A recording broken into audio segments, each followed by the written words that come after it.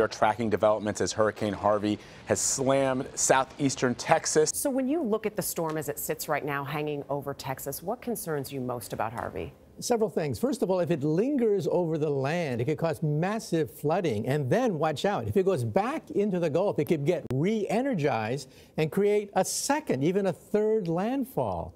And so the agony has just begun with this hurricane of the decade.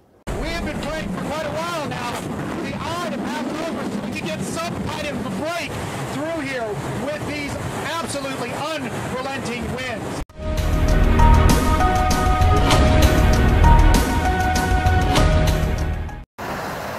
Video inside the eye wall of Hurricane Harvey shows the power of a Category 4 as it barreled into the Gulf Coast last night. Several areas look like disaster zones. Wind gusts of over 160 miles per hour and flooding rains slammed towns along the water. It's not expected to let up for days. Rockport and Fulton were some of the city's hardest hit. They are the first populated areas to see a direct impact. Early views of the damage show several mobile homes flipped or already in pieces. A gas station sign lies flat on the ground after it was toppled. People staying at this hotel had to be evacuated to a nearby school. Debris everywhere, roof totally gone, rooms exposed.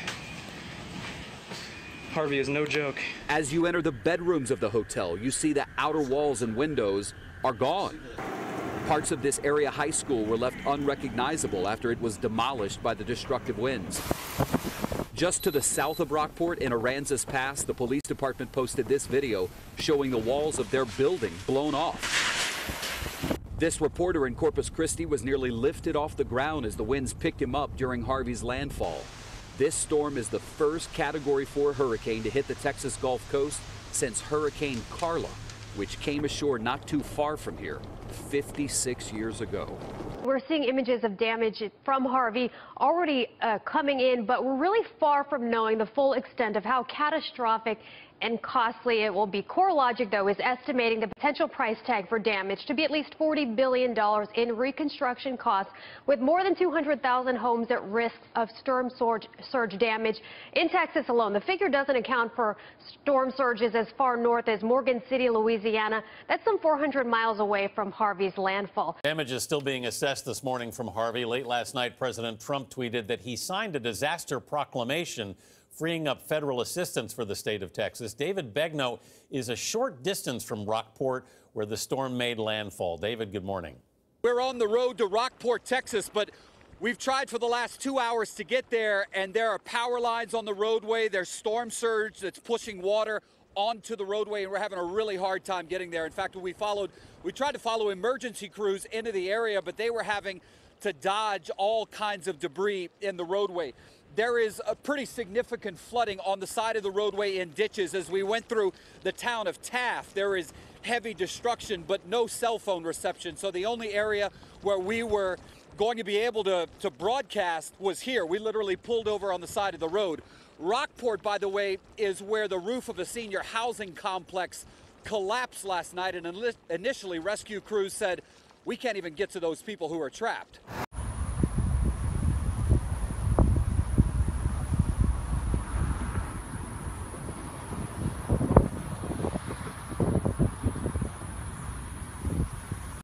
Uh, what's it like out there right now? It's been awfully windy last hour. You could barely speak to us. Yeah, that's right, Alex. And right now it's still windy, and more than that, it's raining. Raining still harder than we've seen since we've been here the last few days. And that's the biggest concern right now. There's a flash flood warning here. It was just extended for a couple hours. Odds are good. We're going to see a lot of flash flood warnings in the coming days. Here in Galveston, all along, the concern wasn't really the hurricane force winds or the storm surge. They knew that wouldn't be as bad here. The concern is what we're seeing right now. The system basically sitting over us and just dumping rain, not just for hours, but for days that flash flood warning isn't just here along the coast. It goes well inland to Houston and beyond that. That's one of the reasons why a lot of people who live here in Galveston decided not to evacuate from here because they figured even if they were just going to Houston or San Antonio, those places are going to get a lot of rain. There's the potential for major flooding there, and then they'd be in a place where they don't live or they may not know anyone. That's why a lot of people have decided to stay here in Galveston and take the risk. That way they can keep an eye on their own homes, especially in low-lying areas. People have been using sandbags. They've shuttered themselves in. They've stocked up on water and food. They have generators. But if you're in those low-lying areas, you're really going to need to keep an eye out for the weather here because the flash flooding can happen rapidly, and there are some homes that could quickly go underwater. So they want to make sure to keep everyone updated so that doesn't happen. And no one, they figure there's going to be a lot of damage here from the flooding if it's as bad as they're predicting, but they want to make sure that no one is hurt or no one loses their lives here. So that's the number one priority. But it's not going to be like this for a few hours. It's going to be raining this hard for a few days. Now, you're talking to emergency crews and personnel. What are they telling you about what they're seeing on the ground? Well, obviously, there's uh, great devastation where the hurricane hit uh, the area, but also our greatest concern right now uh, is the ongoing flooding uh, that will take place. Uh, that will continue uh, perhaps for days, and that poses ongoing danger. The other thing that we are focused on right now, we are trying to get in as fast as we can to begin the rescue process. Even, even though the storms are still raging, we have teams already working to get in to try to rescue as many people as we can. And, and sir, what is your message now uh, to the folks, uh, specifically in Rockport? We just had a report that, uh, and we saw some images from uh, the area that look absolutely devastating, and uh, with the understanding, of course, that it is going to continue to rain in the area. Right. It's, it's important that uh, people who are in place right now uh, continue to find ways to remain safe, uh, continue to try to communicate uh, as best as they can with their uh, local officials or with anybody that can get uh, messages to either the local or state officials so we can get to them and help rescue them. And we know, sir, that President Trump has allocated federal funds to the state. have you spoken to the president?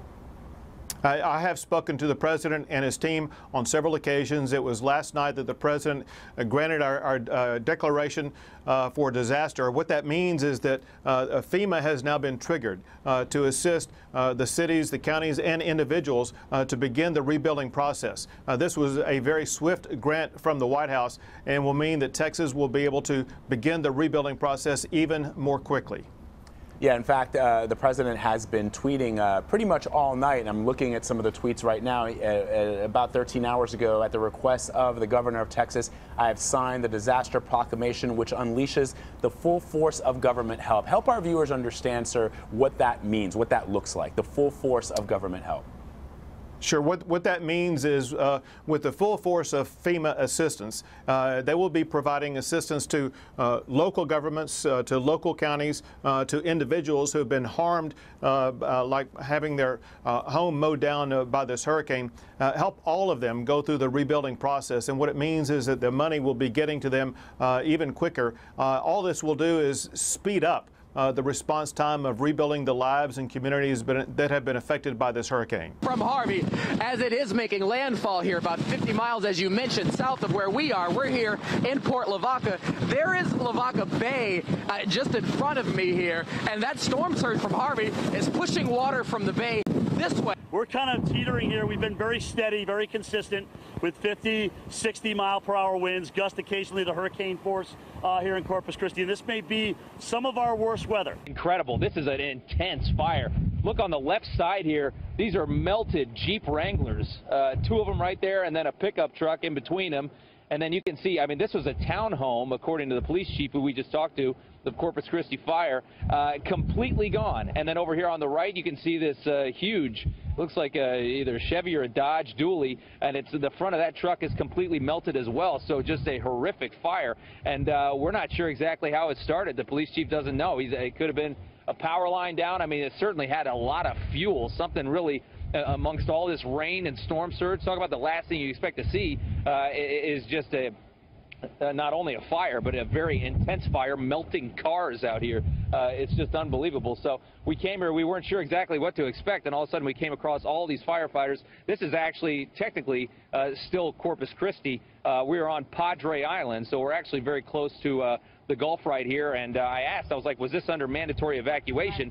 And the chief said, actually, no, this is not. This was still under voluntary evacuation. So these people didn't have to leave, but he says from what they see right now, it appears that there was nobody at this home that they got out of here, which is thankful because that uh, is a, a completely devastating fire. We've got four melted cars. There's a boat over there that uh, looks like it might have survived, but it's right up against another um, quite nice houses out here on Padre Island. This is a vacation spot for a lot of people. So uh, that's the story here as we uh, watch as uh, the rain has really subsided quite a bit. The winds are really coming down.